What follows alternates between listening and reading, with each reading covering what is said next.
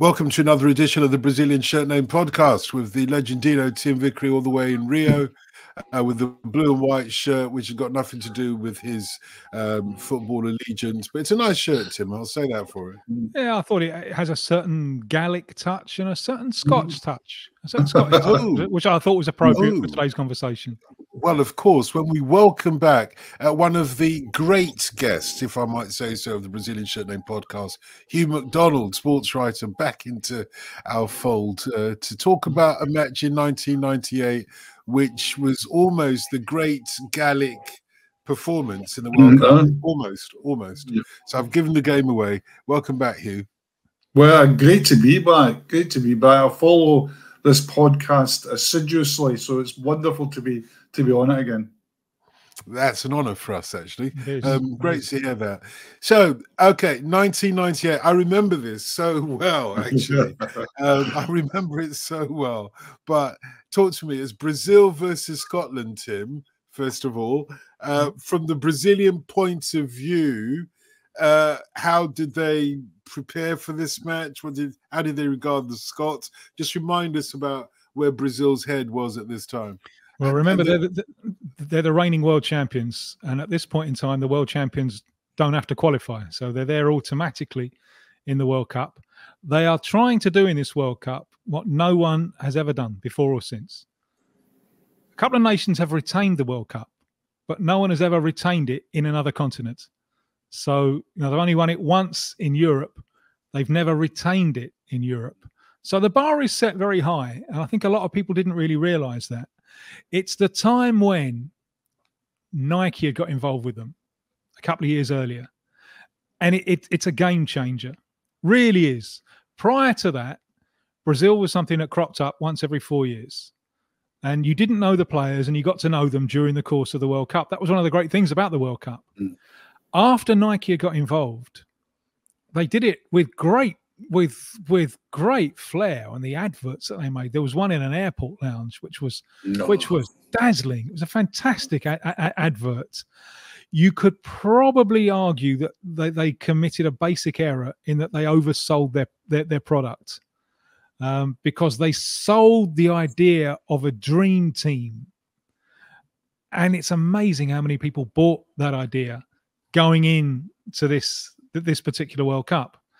Uh, and I, I, think that the, the, over the over the subsequent years, there's been a little bit of a backlash against Brazil. They're not quite everyone's favourite second team to the extent that they were pre Nike, although a lot more people wear wear their shirts. That, that, that the promise of a dream team it, it, certainly wasn't borne out in this World Cup, although they did go all, all the way to the final. I had had a because uh, I was already in Brazil by this stage. And I kind of made my name saying, don't bet on them. Don't bet on them. they, they, they, had a strange build up. The Olympic tournament two years earlier in Atlanta was really important to them. They had what they thought was a fantastic generation coming through, spearheaded, of course, by the striker Ronaldo. Uh, and they thought it was going to be a breeze to the gold medal, and that was going to be the, the, the team for the World Cup. Well, only got the bronze. They lost to Nigeria in the semi final of the Olympics. Uh, and they never really convinced. They always looked a little bit rudderless. And at that point, they made the decision we're going to have to bring back Dunga, who'd been the captain in 94. Mm. But they knew very well that Dunga had shot his little bolt. He didn't, he mm. didn't, they knew that. It was, it was a real um, uh, experiment, I think, in double think. Because on the one hand, they decided they were invincible. And on the other, they kind of knew and in the end, as we know, uh, Dunga couldn't get close to, to, to Zidane in the final to throw sand at, at his backside. Uh, they had a big defeat a year before this game away to Norway, which was a bit of a wake up call. They brought in some extra height into their, their, their defence with Junior Baiano. They lost again to Norway in this World Cup. And if you look at this World Cup, they struggled against every European team that they played, uh, including possibly the last really good Scottish team, but Hugh can get into that in a minute. Just one final point before I pass the ball to Hugh on how good you thought this Scots team was. Now, this this this fascinates me. Few months, I mean, in late on, maybe October of '97, something like that. they had a friendly against Wales in Brasilia. Uh, and it was a game that they they chose to bring Rivaldo back. Rivaldo carried the can for the Olympic failure. Um, they brought him back in his rather tame friendly against against Wales. I think they won 3 0. And who told me the story was Bobby Gould. Bobby Gould was the manager of Wales at that time. Uh, and I, I, ran into him a few years ago, and he said, "You know, Brazil sought us out, and they wanted a friendly against us mm. because they wanted experience of playing a British team because they're going to play Scotland in the World Cup." Okay, there's an interesting detail: the draw hadn't taken uh-huh. place. Now, doesn't does doesn't that doesn't that put put put the cat amongst the pigeons? Brazil, on the word of the well the Wales manager, Bobby Gould told me this personally. Brazil sought them out to place uh, because they wanted to practice against Scotland, knowing they're going to play Scotland, and the draw hadn't happened. presumably in the final, though. Presumably they knew they were going to play us in the final. yeah, maybe that was it. Maybe that was it. Hugh, look, you know, you know that we always on the Brazilian Shirt Name podcast look at an iconic game from the footballing yeah. past to talk about, and tonight's, I think, for a Scottish fan, must be a delectable dish, as it were. So, tenth mm. of June, uh, nineteen ninety eight, Scotland versus um, Brazil in the World Cup, and well, how do you so? how did people see it from the Scottish perspective? Oh, it was absolutely sensational. I mean, I, I, it's one of these things that I can remember in 1998, June the 10th, very, very clearly, but I couldn't tell you at the moment where my car keys are. Uh, or indeed where I park my car. That is the stage of life I'm at. I can actually rattle off. I can rattle off a sort of stereotypical Leeds v Ipswich Town lineup of 1972 uh, but I can't tell you uh, which grandchild I've got to pick up at what, which school uh, in, in, two hours' time. But the Brazil one, I have no hesitation in saying uh, was one of the great, huge moments. First of all, it was a World Cup, and although we we were we were oh tempera oh uh, although in those days we were serial qualifiers for World Cups, and I think this was our fifth uh, not fifth World Cup, our fifth major tournament on the trot. So we're serial qualifiers. So, but that allure had never left. And the Brazil thing is hugely important because you've got to remember that 1970, Scottish homes started getting in colour televisions. I got one, and uh, and uh, well, I got one. My father got one, uh, and it was purely for the World Cup. Everybody went out, and then in, in those days as well, without bringing small violin, it was rental tellies. You went out and get rentals. We got these oh, yeah. huge televisions that looked like a drinks cabinet. Then had this yes. screen the size of a dinner plate in the middle of it, but it was in colour, and magnificently it was Brazil. And for people of my generation, I'm hurtling towards 70, so I was 15 then. That was everything that World Cup was everything. You know, people older than me would and, and uh, would talk about '58 uh, uh, and Pele's uh, coming to age. They talk about '62. So there was this sense of this sense of something and huge happening in '70. 66, 66 forgot about that. 66, 66 was a void World Cup. They actually voided that World Cup.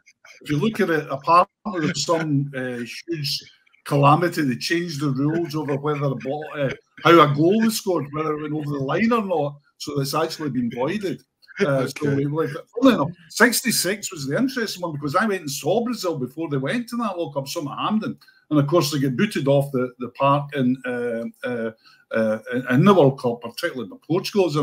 Anyway, I digress. This is all in context of what playing Brazil in the first match of a World Cup would mean to Scots fans. It was uh, you go into just just cliches of how huge this was. Uh, this is Scotland stop for that. There's there's uh, there was at the time I was I wasn't in sport at the time. I was a, a, a I was a, a chief sub editor of the Glasgow Herald, so I was it was a huge news story. There was a story of sixty thousand Scottish fans had gone over for the game. Obviously, no tickets. So this was a stop the bus moment, as we say in Scotland. This was just incredible because this allure of Brazil was it was intoxicating, and, and as you know, don't, we don't need much to get intoxicated. You know, we use our own means of doing that without going to football. But it was just like this was the perfect thing. We are going to play in the World Cup. Fantastic. We're going to open the World Cup. Oh my goodness. And we're going to play against Brazil. And like all football fans, as it got closer, we went, you know what? We, we could maybe sneak something here. You know that way you get. We can, we can that awful, awful, desperate emotion, hope that that, that, that you get as you as you come near. So that that is the context of the game. But it was it was everything that day in Scotland. Everything. Yeah, it does seem as if you're jinxed in World Cups to kick them off as you were this time. Well, not in World Cups, in, major oh, tournaments yeah. as you were in the Euros this time around mm. um, against yeah. Germany, and maybe jinxed in terms of the result because that was an idiosyncratic result this time around this year, mm. perhaps five one. But um, in this game, you believed that Scotland had a chance. What mm. was the chance? And was the chance evident in this match? Because you went down yeah. pretty quickly. But the whole thing of it was, it was the usual Scotland way of going. Uh, of all the scenarios, right, that you run through your mind before a Scotland game of how we're going to lose. And believe me, being a Scot, how you're going to lose is the big scenario that's running through your, your before any match. You know, that's your default. How can I how can I how can I kind of numb this emotional pain that's going to come by actually predicting what could happen? But if you said to yourself, how are you going to lose to Brazil? A near post corner, a near post header from a corner, and an own goal where the ball wasn't heading towards the net, the ball was heading away from the net, and you're going to lose 2 1 to that. That was just, oh, I mean, that's just mind blowing. The hope lay in this. One, as passing years, I'm really interested in history and I'm really interested in revisiting history. And sometimes we live history especially when you get to 69. And I can remember, and I got to know Craig Brown really well in, in, in my day job. Although then I was a, a news journalist, I was a, a, desk man, as they said. But in later life, blessedly, I got to know the great man. I got to know just about all the players that played that day. I got to know them. And the I think one thing that's hugely underestimated is how good Craig Brown was as a manager. I could do a discourse on this. He was miles ahead. He really was miles ahead. People forget that Stein and Ferguson, who are very proud, Stein took him to the 1986 World Cup. Stein obviously had passed before that, but Stein was wanting him as part of his of his backroom team. Alec took him to 86. And one of the reasons was that, and it seems so it's so bizarre now because it, it, it's part of he was a great stat statistics man. He was a great detail man. He was the kind of guy that would, the kind of guy that would would have, for example, warm ups. He would go to a stadium for warm and he wouldn't have the players warm up on the ground. He would have a things that are normally done now. That we'd have them warming up inside. He would have them doing specific things. And what Brown was very good at was being a pragmatic manager, which, as you know, is always a nice way of saying he was very defensive. He knew what he had. He knew what he had, and he was playing. Go to remember the team. Okay, Ronaldo, uh, Rivaldo getting a bit old. Bebeto probably not his best, but Ronaldo being there, he's got to be defensive. In the qualifying campaign, which was uh, ten games, we had to qualify. We lost three goals. Three goals. We lost more than that in the first half. We lost that in the first half against Germany this time round. I mean, in one half against Germany lost three goals and three goals in, in, in, a, in a, a group. So he's very pragmatic, very settled, and we thought maybe nothing each year. Maybe Kevin Gallacher going long on a, a, you know one of these punts up the park. Gallagher was lightning. He scored one nothing, etc. And the hope grew and grew and grew until Cesar Sampaio scores with a, a, near post header that would have graced a, a junior football match in, in Scotland. Possibly off, off, a little bit of his shoulder as well. You know, yeah, a, just, yeah. Just, this is a game. Just, just adds to it. Just adds to it. It finishes two one, and it's three utterly ridiculous goals, isn't it? All of the goals uh, uh, have, have an element of, of, ridiculousness about them. I worked with Craig Brown um, a couple of years later, or a year and a half later, at that Club World Cup here in Rio, starting oh. 2000. And he was, he was obsessed yeah. with warm up routines. He was saying, uh, "Where uh, will they be warming up now? You know, they got space now." Uh, no, he was obsessed with that. He had he had three big obsessions: football, obviously, and he really was a, de- a detailed media coverage of football. And I managed to get him on Brazil- on Brazilian TV. None of the other British people would do it, you know. Uh, he, he came on a, a, a, TV show with me. And he was great. He loved it. And the other one was sex. Are you getting it regular? Are you getting it regular? That's like Easy E to me. I'll tell that story another time because Easy E went a bit deeper than that. But what I was going to, what, he did. What I was going to um, say though, when you watch this match, uh, Craig Brown says Brazil are the better team, but hang on, mm. Brazil huffed and puffed maybe you know the Scottish goalkeeper Jim Leighton did a really good job on the day. He did he did really well stopping mm. Brazil, uh, but Brazil didn't penetrate that that Scottish defence that he talks about, though. Really, did it? No, the, the, well, team said, never really worked. I mean, so, mm. when they called up the squad, I was there when they called up the squad. This is like a month before, and the coach, Brazil coach Mario Zagallo, he he named the team that this is the team. This is the eleven. Uh, and at half time, the, on, the, on the right of midfield, they had um, Giovanni, mm-hmm. Barcelona, quite languid. And at half time, Zagallo was had had enough. Off he came. I'm not sure he was seen again for the rest of the tournament. And on mm. went Leonardo to play right right side of midfield. He was he was a left back, you know, a midfielder perhaps, but he was all left foot. The, the, mm. That the team never really worked, never really clicked, and it, it was dependent on the individual bursts of Ronaldo and also on the fullbacks. Mm. Now, there, there's an interesting thing here because they played Argentina here in Rio in the Maracanã um, mm. just before, not long before the squad was called up. Uh, it was a big game, big game. It was the first game in the Maracanã for mm. years no, this is this is the wonder team going off, going mm. off to. And my God, they were they were awful. And Argentina beat them one mm. 0 and uh, they didn't have a decent chance. Brazil in the entire game. Uh, Argentina were, were worthy winners, and the crowd just turned vicious. And there, there were some people who played that game who played their way out of the World Cup squad. Um, and the uh, they started with Socrates' brother, Raí, who'd been the captain at the mm. start of '94 and the crowd just turned on him, and he didn't see him no more. And that mm. they had another midfielder, the kind of holding midfielder, Zé Elias, who the crowd turned on him, and he didn't. But the mm. one that the crowd turned most on was Cafu. Now, Cafu, part of this is regionalism. Cafu is a Sao Paulo player; he's not a Rio player. And Cafu, perhaps unfortunately for him, his name rhymes with arse in Portuguese. so, like, and this is a real trauma for Cafu because he's got his family there, you know. And the um, entire crowd, you got 100,000 people saying, Cafu, go and take it up the arse, you know. And everyone saw him going into this World Cup. He is the weak link.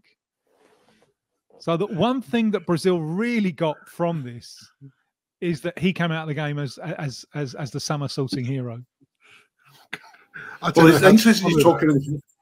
Yeah, you don't. I'll, I'll just interject. Uh, Hugh McRectum here will just come into the uh, and interject that that, um, that it's interesting to talk about Cafu because I talked to Craig Brown as I did, and I've talked to many of the players that played in that game because it was quite an unusual. It was a very Craig Brown um, uh, lineup: three centre halves, five in midfield. Well, well, five in midfield and one off Gordon Durie off a pacey striker. So it was quite a not a very sophisticated. You could see what he was trying to do. But he, he said one of the big conversations was he would go through, and this is another thing that, that, that you know is now taken for granted. You got video analysts and that. But Craig Brown literally would spend days and days going through old VHS tapes and all this. They came to a very rapid conclusion that um, uh, that having Ronaldo up front was going to be more than an irritation. Uh, uh, there, there, might be some local difficulty with him rampaging on uh, a Scottish back three. So he phoned up Bobby Robson and said to Bobby, you know, you've had this, you had this player at PSV, you know him, you know, Bobby Robson kept in contact, being the kind of person Bobby Robson was and the person that Ronaldo was. They had a very warm relationship. And and Craig Brown says to Bobby, How do I stop him? How do how would do we go about it? And Bobby Robson said, I've got really, really bad news for you. You don't. You just don't. It's just he's just going to kill you. He's just going to destroy you. Uh, and people now forget how good Ronaldo was. I think I think Ronaldo's one of the players. This is just a, a personal going off at a, a digression that just how good Ronaldo was. You know, playing with with against players that could kick him up and down the air on pitches where you could pan potatoes with pressure on being the greatest. And any team he ever played in, he was the, the saviour. So Robson says to him, "There's no chance of stopping him. He's already he's beyond stopping him. Uh, he said, "What you've got to do," and they came to use, is stop getting the ball to him. Because if he's getting the ball, it's going to destroy you. So you've just got to. The way they're doing, people now do with Messi, the, you know, the, most most coaches now decide, right, we're not going to stop Messi, but let's try and stop getting the ball to Messi, and we've got we've got some kind of chance. And they worked in a very, very strong system of uh, stopping. They worked out that it was mostly the fullbacks and it was mostly the ball from the right, from Cafu. Mm. Carlos as well, Roberto Carlos, but somehow it was mostly Comfrey. So he picked really mobile guys on the on his wide areas. Not not even not even uh, guys who were um, what's the word for it retooled outside rights or you know upgraded right backs. He picked Darren Jackson, who spent all his life as a second striker. Um, he was one of because he had what we all call the engine. He he could and he was disciplined. Darren, he, he got booked in the game early on, but he didn't get booked again until he was taken off. He never put in a tackle, but he was relentless. He would run. He would listen to Brown. He was no ego, Darren. He would listen to Brown said, "This is what you do." He'd pull on that shirt and do it. Another side, they played Christian Dailly, who again would be Christian Dailly was one of these. Wasn't that great expression? used to have utility player. Uh, I mean, he could play anywhere, but you wouldn't have played him out wide in, in anything. But he did again because of the fitness of Dailly. I once interviewed uh, Dailly. Dailly's one of these fitness maniacs. And I interviewed him. He was about 36 at the time. He'd just come back to Rangers for what everybody thought was a, a swan song to his career. And I says, What's your ambition at this stage? And he says, I want to play until I was 50. He said, I want to play until I'm 50. I said, Well, you can do that. You can you know, go down the leagues. No, no, no. He says, I want to play in the top division in a country when I was 50. Now, he never managed to do that, but there was no reason to doubt it when you were looking at him. He was, you know, he was like fitness personified. So this is what Brown did. Brown said, "We'll stifle the game, we'll not get the ball to Ronaldo, and we'll take our chances on the break because we've got pace, and then we've got a little, well, more than a little craft in midfield. Remember that Collins, mm. who was at Monaco, was a decent, terrific player, player. And, and yeah, Paul Lambert had flowered in Germany Lambert, as well. Lambert, was Lambert was a Champions League winner. It had he, Lambert had to get a special pair of shorts made for him all the time because he had to have a pocket where he could put Zidane, you know, because he, because he he he he um, he nullified Zidane when uh, uh, Dortmund played um, uh, uh, when Dortmund played Juventus in the in mm-hmm. Berlin in the, uh, the European final.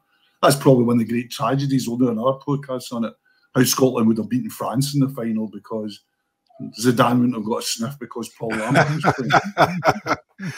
Look, I mean, whatever they did, it did work because they seemed to nullify the threat from mm. Ronaldo, who was probably in his prime at this point. Tim. But mm. one thing, crucially, that we can perhaps discuss with the benefit of hindsight is there was, I mean, the benefit of hindsight being all the mm. way to the final um, seven games or six games later, is that there was an immense amount of pressure that maybe is not so apparent in this first match, but is no doubt there on Brazil in general, the Brazilian players yeah. beyond that, but specifically on Ronaldo. Yeah. but he is the people don't remember what a big star he was at a time when when the game was was globalizing you know it's at the mm. moment when all the cable tv is coming in and mm. uh, i saw a film uh, uh, a few years ago from tibet and it's all about tibetan monks young tibetan monks trying to get out to uh, to watch the 1998 World Cup, mm. and then I think the 2002 World Cup even more because uh-huh. Ronaldo uh-huh. has a Tibetan monk style haircut, so yeah. they kind of they, they kind of relate to him, and that's what he mm. was. He he was the poster boy for football at, at that time when it just went whoosh, and you know players know when he knew that this team wasn't anywhere like as good as it had been hyped up to mm. be. I remember talking to to the goalkeeper Taffarel a couple of months before the World Cup, and it was obvious between the reading between the lines of his answers, it was obvious that he didn't he didn't have much faith in the mm. defense. He didn't have the faith in the defense that he's had he'd had four years earlier mm. when Brazil had, had won the World Cup. And his actions actually bear this out because he was without a club and he fixed himself up with a club. It was Galatasaray before the World Cup. Had he done it after the World Cup, in the end, things didn't go particularly well for Brazil, certainly in the mm. final, but it went very, very well for him. He had a fantastic tournament. Had he waited until after, he'd probably got a better deal. But, you know, so he, there, there was this feeling, and I think they knew deep down. That's one of the reasons that they collapsed so much against France. It was a little bit like in the final. It was a little bit like, do you remember those fighters when Mike Tyson was at his peak and uh, you saw him come into the ring and you saw the expression on their face and you're thinking the first one he gets lost. He's going down yeah, and he ain't yeah. getting back up you know mm. because he's already half beaten mm. and, and, there was some of that i think deep down with brazil and the man who could put that right was ronaldo and he was extraordinary in the semi-final against mm-hmm. holland which was a great game where holland really yeah. should have put them away and mm. didn't and he carried them through and in the end, it just got it it, it got it got too much. Um, and he's all right in this game against Scotland, but as Owen Hugh has explained quite brilliantly, they managed to strangle the supply a little bit, and they they had lots of men between Ronaldo and the goal. So his, his shots are, are, are, from range. So it, it's it's more hints of genius than actual genius itself. Um, but there's enough there in what he does in that in that game to think, you know, when the games open out a little bit more, you know, and when he has more space to run, you know he's going to do some special things. But mm. a lot of people judged him harshly in this World Cup, even even through it, you know, and he was yeah. doing some brilliant things. But just the, the bar of expectation on him personally was so high that perhaps no one could have lived up to it. And yet, what the wonderful thing about him is he, I, I've got hugely great memories of him. As I say, I think in in the context of world soccer, he's he's slipped out. You know, when people talk about this this this, this spurious debate, well, wonderful debate, debate about uh, the greatest of all time, very very rarely that the that I call the original gangster Ronaldo uh, uh, uh is mentioned, and yet. Yeah it's such a terrific sporting story as well because not only did does he have this it's almost like uh, you know this great arc of redemption that we love in you know mm. top fiction and great biographies always have it that this guy you know has this presumably stress induced illness and uh, on the day of the final but he comes back in the next world cup to be the top goal scorer in the next World well, Cup. After two yeah. knee injuries that you think have ended yeah. his career forever. Got to kill Extraordinary. Got, uh, got to kill him those knee injuries, particularly with the, as you those of us a certain age will remember the knee injuries back in the day yeah. were, yeah. you know, were, were, were career ending. Career ending. Yeah, you mean if, if somebody like Ronaldo, you could you know, maybe play him at an eight or something like that. You can't play him up front. You can't play him up front to, to go beyond defenders to use that burst of space pace to, to, to do it.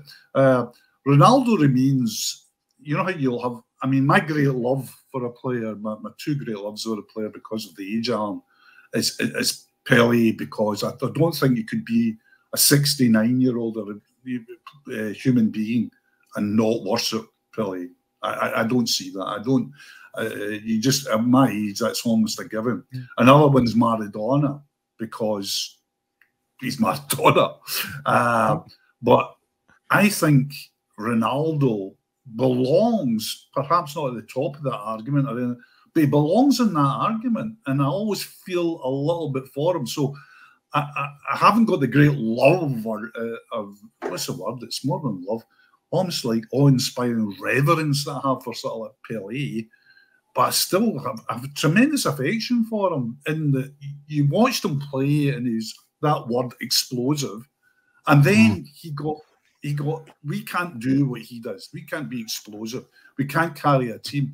But what we can do a wee bit is suffer real dunce in our life and come back. Mm. And he's one of the great exemplars of having mm. a real done, being the nation's savior, the nation's hero, and it falling flat, and then four years coming back. Mm. And I hmm. think I think that's a great human story. I don't think it's a story that's talked about enough. I think it's, I think it's mm. it's one of those that you couldn't possibly script, could you? It'd be mm. too corny. Yeah. yeah. Do you know the one thing I think about um, Ronaldo, the original Ronaldo, as he's obligated to be described as, is um, first of all, he's a great dribbler, which was wow. slightly unusual for a centre. Uh, unbelievable pace. That's what I was going to say.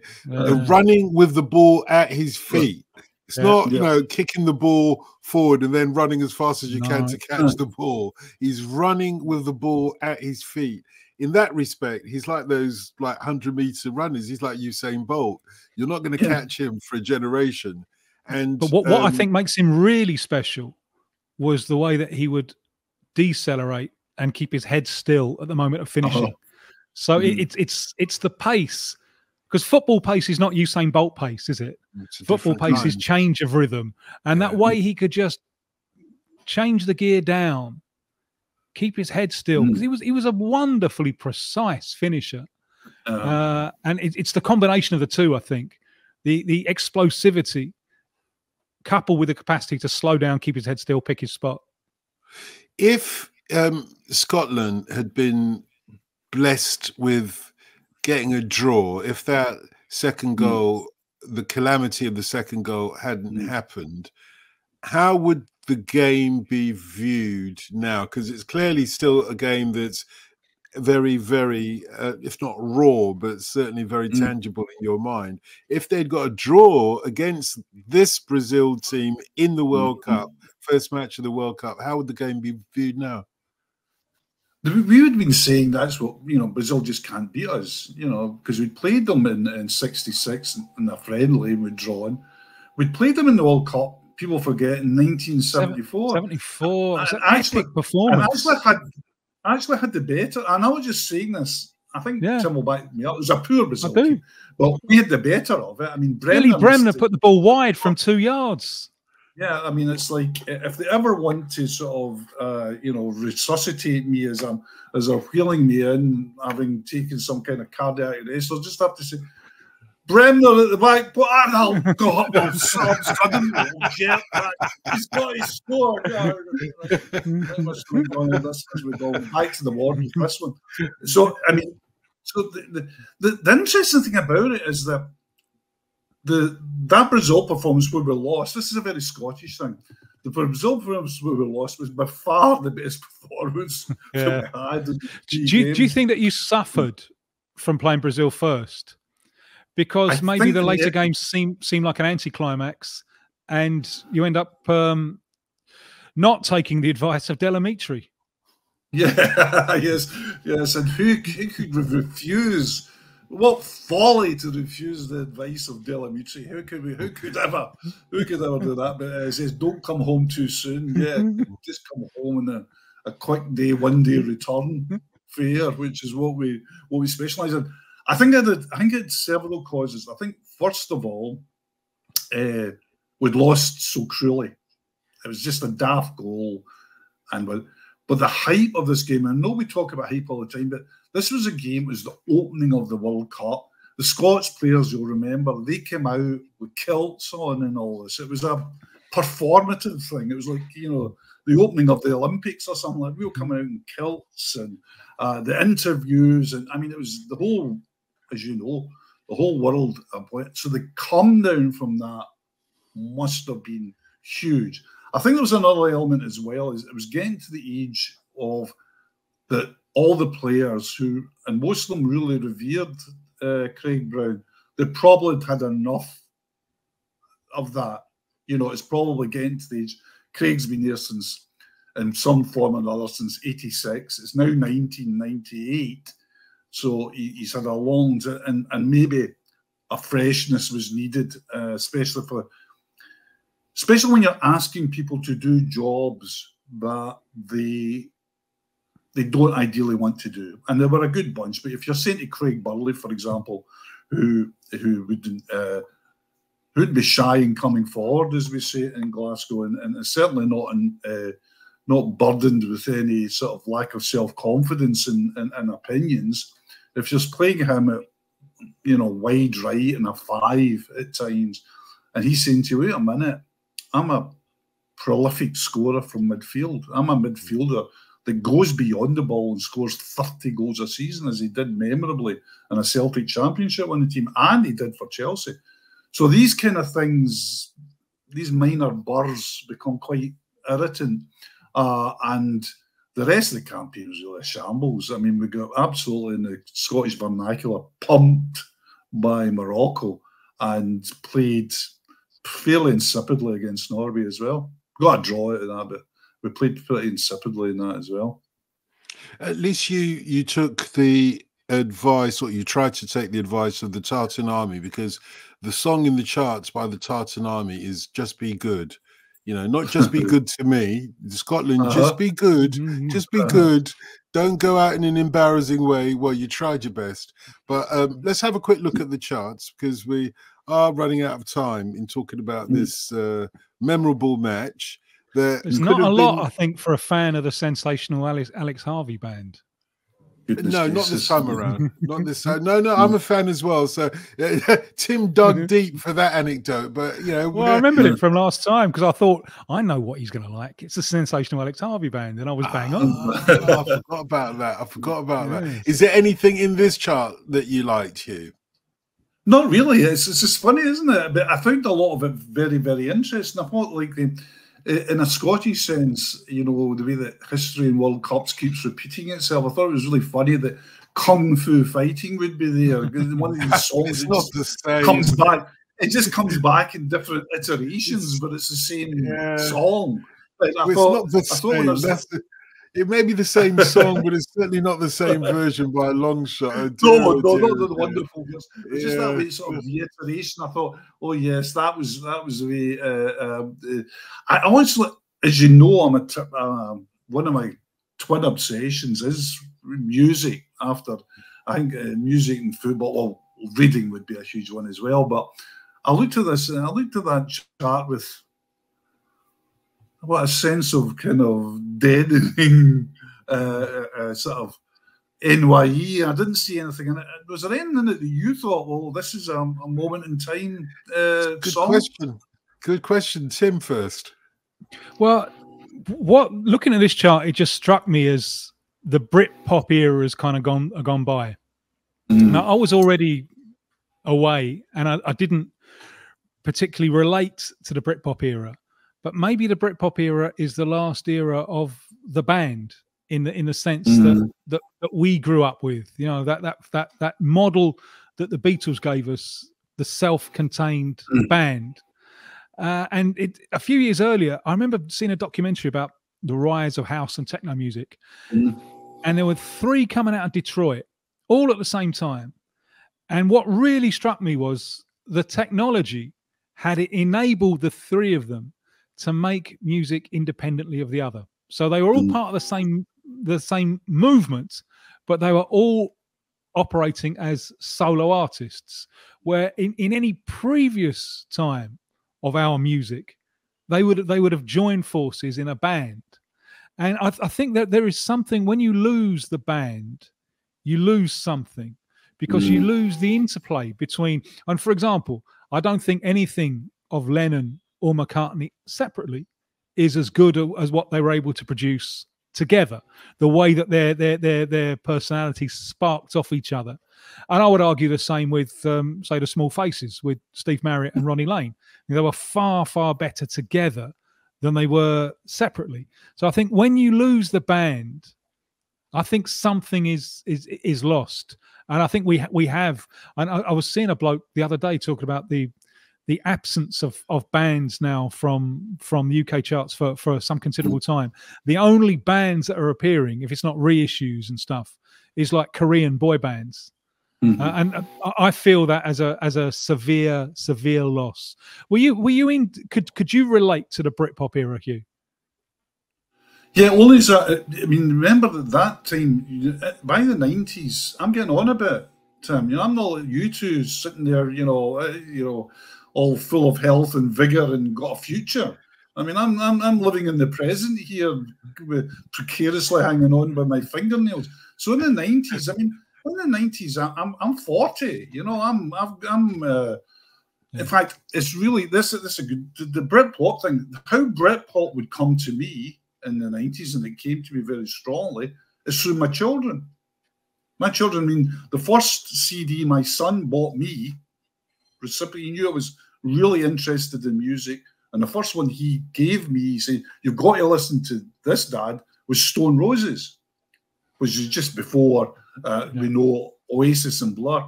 My daughter Katrina, she came down one day that, with that wonderful um, way that we all have in our journey in music.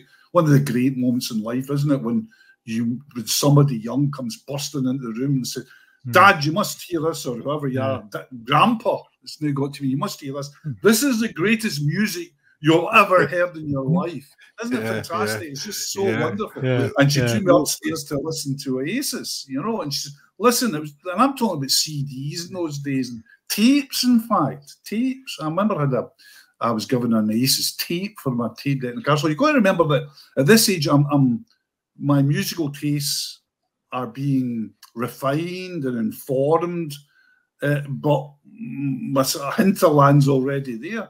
Although I must say that one of the great things in life is whether you're reading or watching football or music, music's I think quite a startling is is being educated in that mm. lovely way by other people. Other people gently saying to you, Do you know what? You should be listening to this. Or in the case of my daughter, kicking the door down and saying, This is the greatest record and piece of music that's ever been made, ever, and nothing will ever touch it. And I think that's wonderful. Yeah, we've all done that, I think, to our parents yeah. at some point or other. So we're getting it back in, in, spades. Um, mm. going back to what Tim said about bands, I think there is a point to be made there. The best track for me in the top 10 is the Mavericks, who are a band doing their Tex Mex. That's that's so much your thing, isn't it? Of course, it's right up my street. It is actually. Sorry, Hugh. Carry on, please. I want to. Uh, I was going to say it is actually the best track in the top ten. What else is there? I mean, for real though, hmm. if you look at the charts now, I mean, starting off with B*Witched, who are a girl band from Ireland, as I seem to remember. This was their one-hit wonder. No. Okay, they got to number one, but it's rubbish. Uh, mm. Horny by Mousse T. It's rubbish.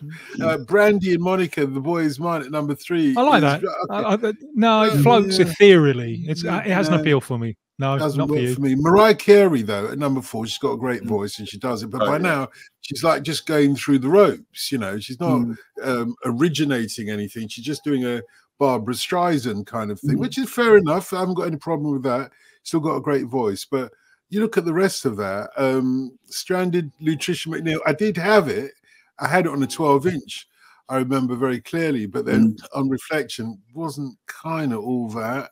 Um, and then you've got a couple of, uh, or at least one, How Does It Feel to Be on Top of the World, England United. There are lots of football songs taken in the World Cup in this chart. And that dreadful, dreadful, dreadful version of Kung Fu Fighting that you inadvertently mm. mentioned and gave me airtime a moment or two ago here. Uh, all I can say is I feel sorry for Carl Douglas. And as if that wasn't mm. bad enough, then you get a number 10, the All Saints coming in with their version of Lady Marmalade. And I'm like, just leave it alone, please. You're, you're oh. destroying our youth by doing this. You know? leave it alone. So in the top ten, I would say the Mavericks "Dance the Night Away." It's such a throwback, isn't it? I mean, that, that, could mm. come out of the late fifties. It's, it's, lovely. I think it's mm. wonderful. It could, but you know, it's sorry. Hugh, go ahead. I was going to say, see, the, the, the, that was the best track for me by by far uh, uh, in in the whole setup.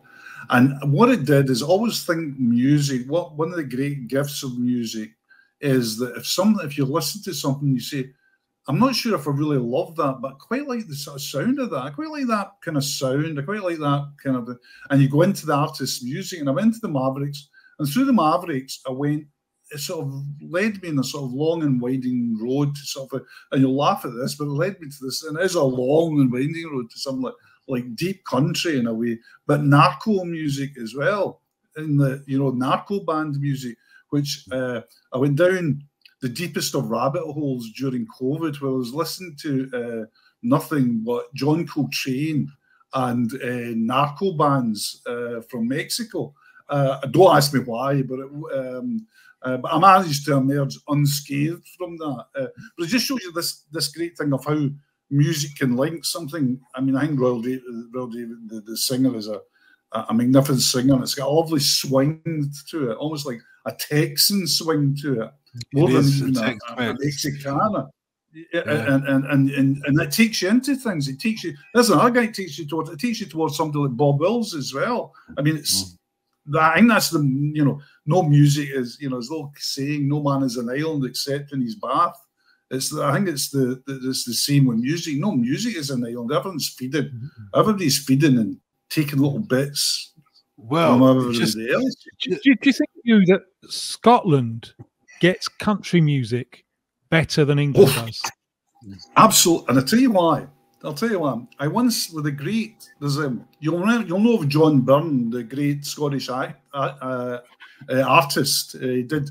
He wrote Tutti Frutti, the the, the great Scottish television, uh, and My Cheating Heart, or Your Cheating Heart. Sorry, well, uh, I'm married to Tilda Swinton and all this. Great guy.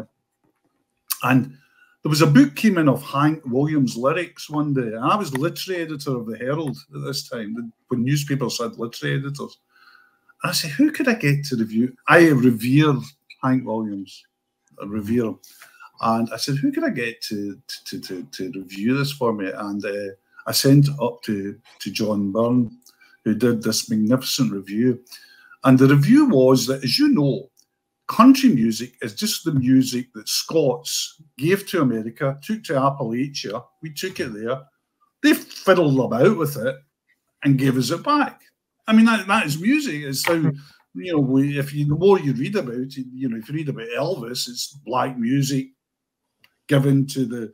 I think given, Elvis. You know, I think Elvis has actually got Scottish roots, if I remember. Has he got yeah. some Scottish roots? At least, or he's, well, he's yeah. to... The only time he was in Britain, the only time he was in Elvis was in Britain was Scotland. He touched down in, in Prestwick. Um, I used, to, right. I used to work. I worked with the reporter who interviewed him through the west, the the the meshed wire at Prestwick Airport. But that thing about see, when I was a kid, very working class family. And this would be a common thing. We used to live in what we call closes, and there were tenement buildings which were just everybody, you know, packed tight together. And what happened when I was a kid was you usually stayed in the same area as your grandparents because you just got a house next to your. The, my parents got a house next to your. So then, obviously, my uncles would be on one side of us my granny would be. So there was all this family thing, and everybody was about this. And the uh, what we call in Scotland, one of the great cultural delights of Scotland is the carry out. And the carry out was um, uh, the pubs shut at 10 o'clock in Scotland uh, for humanitarian reasons. Um, and well, so now, to encourage yeah. home drinking. Yes. yes. So everybody would go home and you would have what they call a carry out right? And you would take some cans and beer and that, and you go to somebody's house. Now, there was in my family, because of our background, there a lot of Irish singing done at that because my grandfather was what we call off the boat. Uh, he'd come, you know, he's Irish, and uh, and so a lot of people in this tenement area would buy so a lot. But the main music was country and western music. The main music was country western music, because what country western music is, above all else, is working class music. It's primal. It's about having no money and your wife leaving you, and there's got five kids hanging for the curtains, and the ticket man is banging on the door. And that's what it is. It doesn't matter what accent it's sung in or, or Hank Williams, uh, you know, the way he sings. I mean, it, it, so I was brought up with, uh, as Billy Connolly calls it, people walking home with the three ton fish supper. But that means they're walking home and they're holding, I have to stand up, they're holding their hand with the fish supper. The fish supper goes like that. They're, they're, walking home because the fish supper in their left hand is like three tons. And, and they walk into a house and they start singing. And Connolly would be brought up, in fact, not good.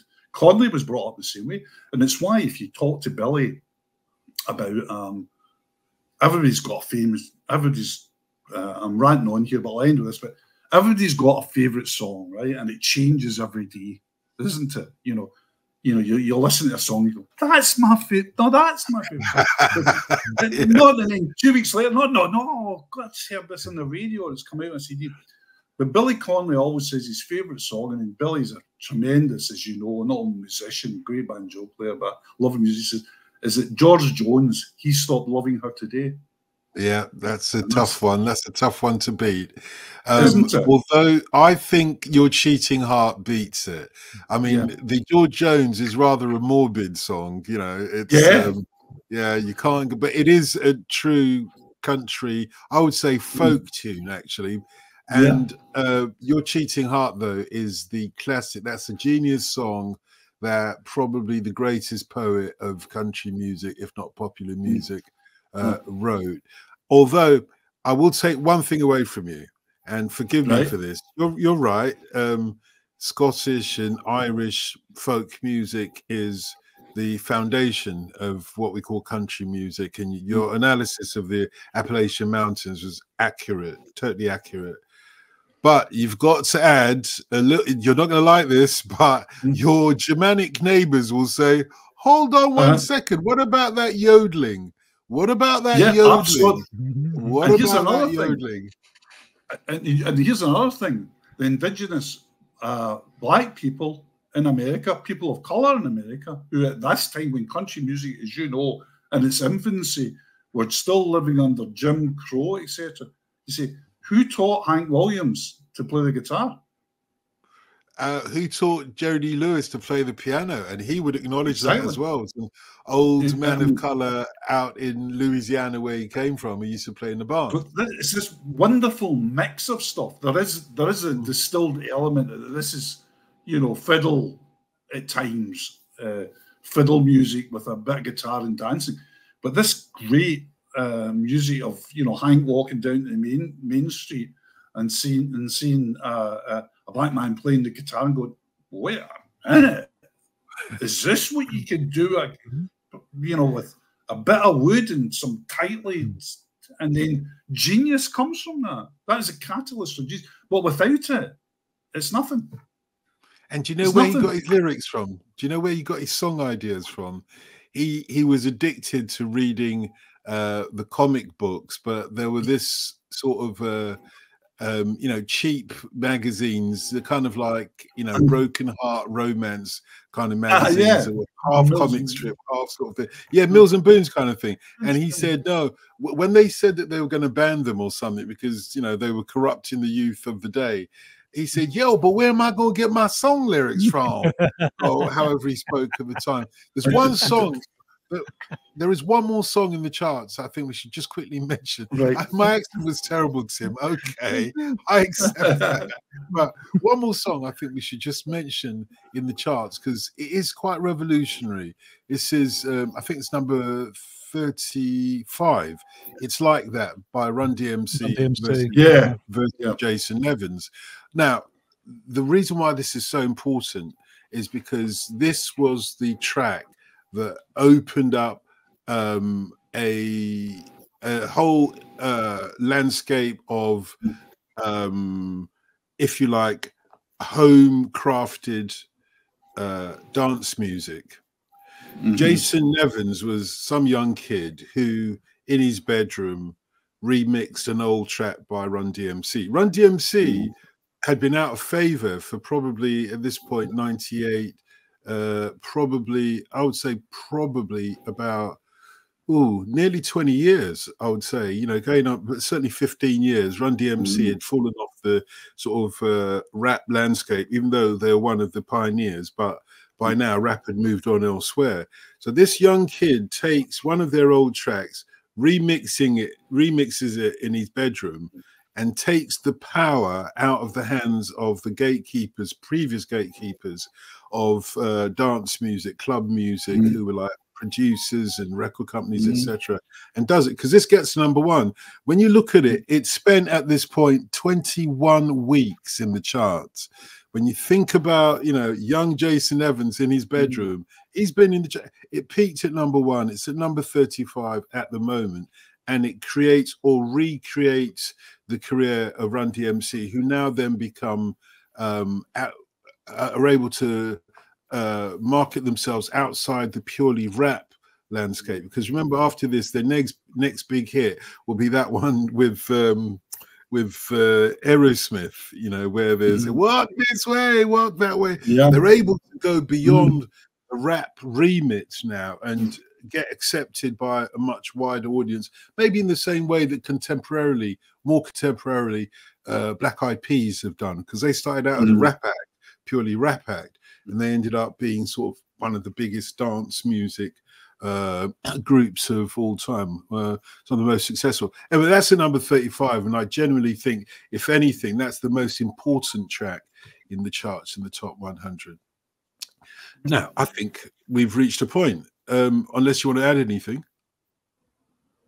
let's do it. Just um, the story, the, the story of uh, the lead singer of Del Amitri saying that he was in a he was in a bar. I saw him giving an interview about this, um, talking about "Don't come home too soon." Mm. Uh, and, an old Scottish guy, even even older than our friend, our dear friend Huey, went up to him and said, hey, "You you're responsible for that, that that song, that song." And he said, "Yeah." He said, "May the Lord have mercy on your soul." well, yeah, just uh, yeah, that's good. Good note to end on. Good note to end on, and not least because you gave us that brilliant anecdote of growing up as well. By the way, Hugh, that was a classic. I think many of us great. don't know how people, you know, live their lives 50 years ago, let alone 60 years ago. You know, and um, that that life that you talk of with your granny on one side and your mm-hmm. uncles or aunts on the other side. That's how it was, not for us, but I mm. was in that landscape because all my yeah. English white friends who'd been there for generations, they literally went next door to their aunt's house to get a cup of sugar or whatever it was. Mm. That's how we grew up in Tottenham, actually, most people. Yeah. But that's and, the yeah, and one that, that that really what they call the nuclear family and all this, and it expanded out. But one of the interesting things was, and where I was brought up, in the era I was brought up as well, people always used to say, you know, what sport did you play? And you go, well, you played football or you didn't play sport. It was simple. I once once interviewed Ben Ainslie, the uh, Olympic yachtsman, and, and he took me out in the water at Largs in, in this little dinghy, and he said, I came off it, and I said, good grief, if that had been about when I was a kid I'd have been the greatest. I'd have been a yachtsman. It was exhilarating. And he said, "Well, why didn't? Why weren't you a yachtsman?" I said, "Well, the, the, the I said the." I said the entry requirements for Possil and Milton Yachting Club are really quite high. Mm-hmm. Now the joke being that Possil and Milton, Possil would be the kind of place where a lot of baseball bats were sold, but no baseballs yeah,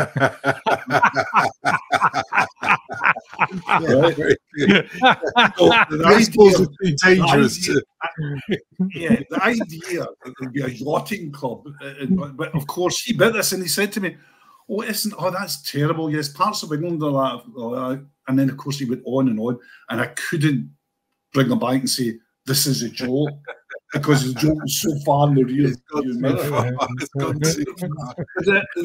It's, it's, an interesting thing, Don. You you you you're a, a, personification of this in many ways. Was what was really important to in, in, in our family was it was good to get to school because school was a way out. Be bright, be intelligent, work hard, try and get out of this.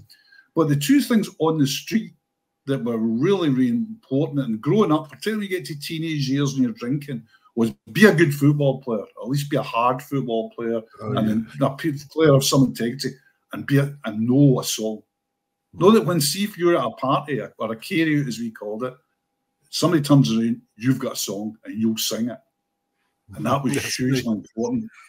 That is definitely me through and through. Yeah. I couldn't help with the football, but I could definitely help with the singing. In fact, exactly. once or twice, once or twice I claimed. Don't encourage wrote, him, Hugh. Don't encourage him. once or twice I claimed that I wrote all the Beatles songs and ah. the ones that the Chuck Berry ones that they sang as well. I claimed yeah. I was the author of Roll Over Beethoven. Listen, when you live in the ghetto, who's going to argue with you in the days before the internet? How would they know? How would they know that I hadn't? It's been absolute pleasure always. Uh, Hugh, Hugh MacDonald, sports writer. Tim, thank you very much. We've been talking about the 10th of June 1998 when the mighty Scots uh, took on the minnows of football, Brazil. Or did I get that the wrong way around? No.